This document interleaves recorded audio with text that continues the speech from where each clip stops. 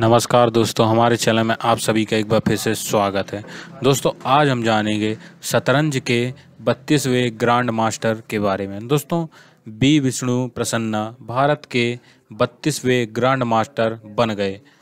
अक्षय राज कोरे भारत के इकतीसवें grand master बन गए हैं। भारत के पहले ग्रैंड मास्टर विश्वनाथन आनंद हैं।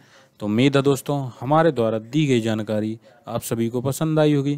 अगर यह वीडियो आप फेसबुक पर देख रहे हैं तो हमारे फेसबुक पेज को लाइक करें और अगर यह वीडियो आप यूट्यूब पर देख रहे हैं तो हमारे यूट्यूब चैनल को सब्सक्राइब करें। धन्यवाद दोस्तों।